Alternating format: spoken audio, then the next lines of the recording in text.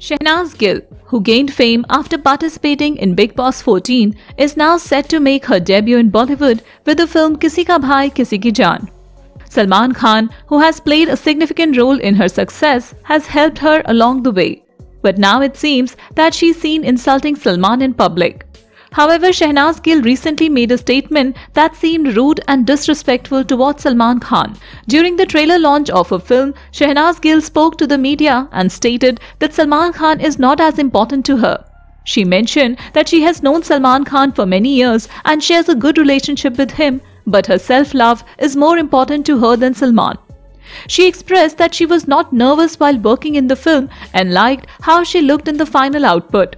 She further emphasized the importance of self-love and stated that she is her own favorite person but not Salman or anyone else. This statement has made Salman's fans angry as they felt that Shehnaaz is disrespecting Salman Khan who has helped her getting the success and stardom that she is enjoying right now. Salman was the one to take in Bigg Boss 2. And when her career was completely over, it was Salman Khan who gave her a chance to move forward through his film.